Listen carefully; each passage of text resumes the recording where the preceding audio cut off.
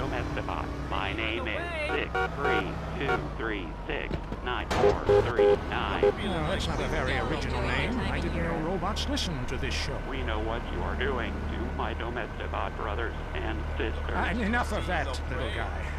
Sounds like he's been programmed for evil. All right, let's get to the real meat and potatoes. Newsmen lying to our face about weather balloons. Historians ignoring my proof that WW2 didn't happen.